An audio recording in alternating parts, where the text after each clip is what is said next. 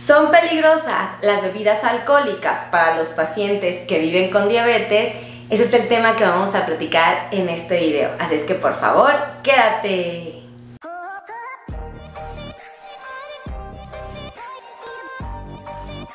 Hola amigos, ¿cómo están? Yo soy la doctora Melissa Tejera y el día de hoy vamos a hablar acerca de las bebidas alcohólicas y vamos a hablar específicamente de qué tan eh, peligrosas pueden ser para la comunidad que está viviendo con diabetes. Eh, la realidad es que hay muchos tipos de bebidas alcohólicas, hay muchos tipos de combinaciones, pero es cierto que hay unas que se caracterizan por tener altos niveles de carbohidratos y otras que te aportan muchos menos carbohidratos. Aquí sí es relevante saber cuáles tienen muchos carbohidratos porque sabemos que te van a disparar tu glucosa, ¿verdad? O sea, esto creo que es muy importante de mencionar. Por ejemplo, el vino tinto, la cerveza, el, este, ¿cómo se llama esta bebida que está fermentada también muy rica? El, el, el ahorita les digo cómo se llama. Esta, estas bebiditas, por ejemplo, tienen muchísima azúcar, ¿ok? Muchísima. El pulque, es el pulque tienen demasiada azúcar, entonces cuando las bebe el paciente, pues rápido se le sube su glucosa. Ahora, hay otras que pudieran no tener tantas, ¿no? Por ejemplo, el tequilita, el ron, el brandy, el whisky.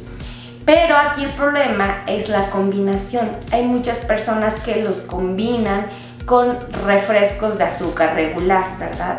O con jugos de frutas naturales o artificiales, pero finalmente azúcares. Entonces, a uno, pues sabemos perfectamente que nos va a subir la glucosa, el otro cuando se combina con azúcares, pues también. Y algo bien interesante es que los tres grupos, aún estos que se, vamos a suponer que estos se llegan a consumir sin refresco, así solitos, naturalitos. Hola, soy yo, nada más para decirte que te puedes suscribir aquí al curso que está aquí abajito para que aprendas de diabetes y cómo alimentarte de una manera saludable. Así es que gracias, bye bye. Los tres van a poner en riesgo tu salud y tú vas a decir, ¿por qué si algunos de ellos no van a tener azúcar?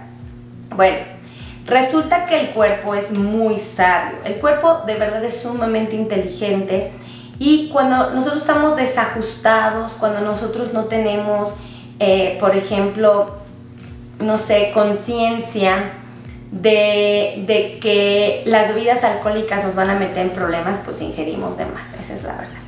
Pero fíjate, el hígado es muy inteligente porque cuando tu azúcar empieza a bajar, o sea, si por alguna razón tú no desayunaste, no comiste, te fuiste a dormir con muy poquitos carbohidratos, muy poquita glucosa o, baja tu glucosa, pues el hígado siempre va a tratar de salvar tu vida y va a soltar glucosa eh, para regulártela. Es decir, si tú tenías tu glucosa en 60, el hígado sabe perfectamente tu cuerpo alcanza a detectar que esos bajos niveles de glucosa pueden hacer que tu cerebro, tu corazón o otros órganos del cuerpo dejen de trabajar.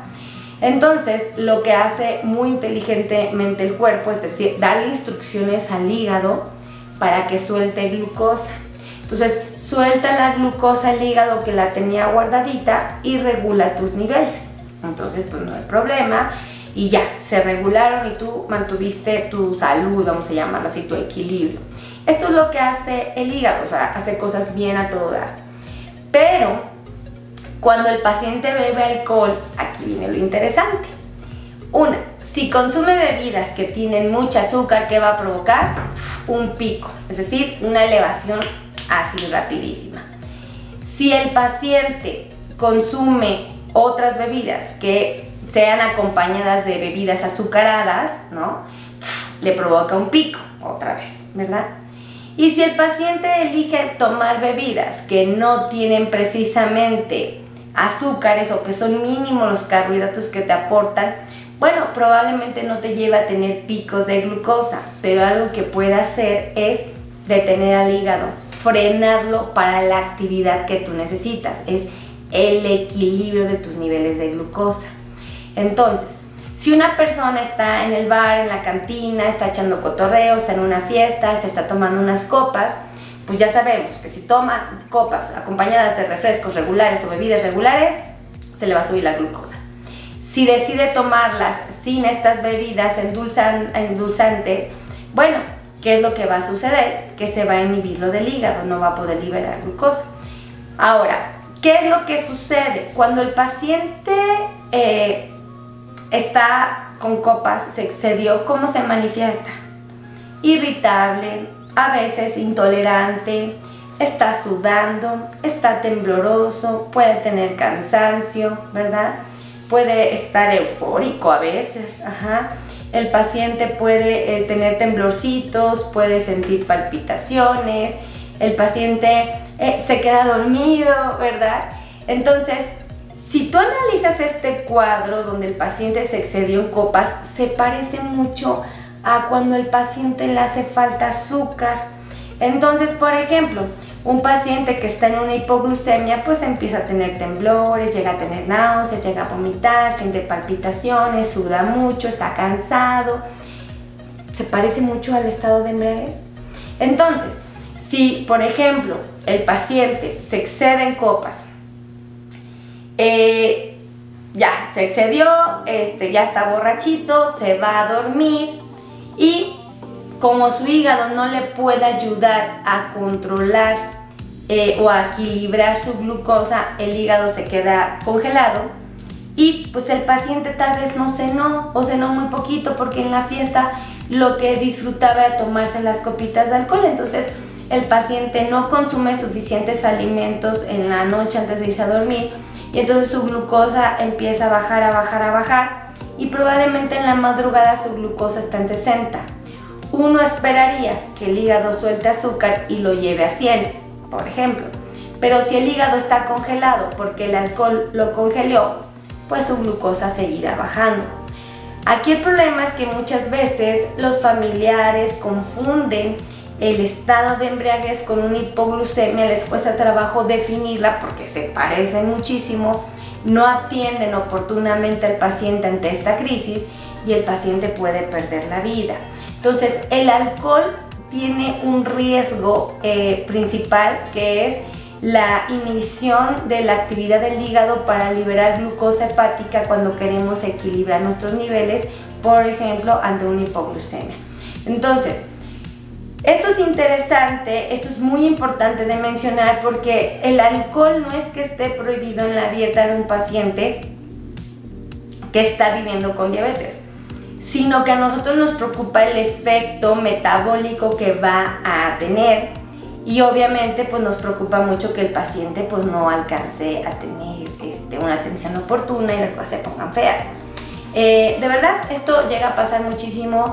Imagínense qué tan serio es que muchas veces el paciente llega este, con un aroma así como, como a borrachito, así como, como a fermentadito, este, lo ve mareadito, está somnoliento, está sudoroso y muchas veces llega por una hipoglucemia, un bajón de azúcar gravísimo.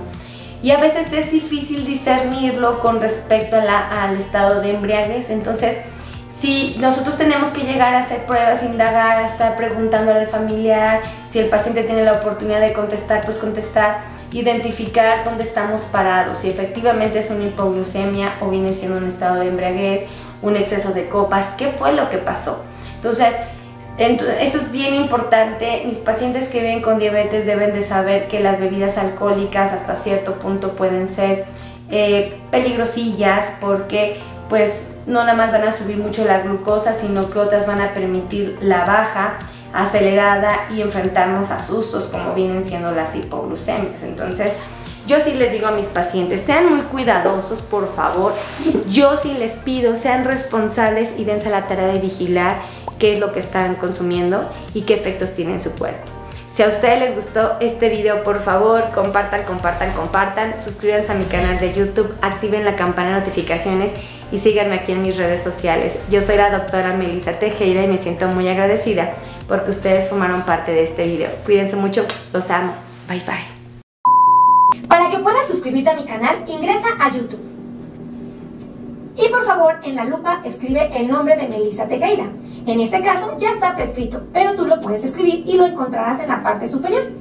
Ahí encontrarás mi canal. Es conveniente que aprietes la fotografía más importante y obviamente aprietes el botón rojo que dice suscribirse. Una vez que lo hayas realizado, activa la campana de notificaciones, apretando la campanita y dándole respuesta a todas. De esta manera vas a poder ser mi amigo en YouTube y ver todos y cada uno de los videos que subamos para el cuidado de tu salud.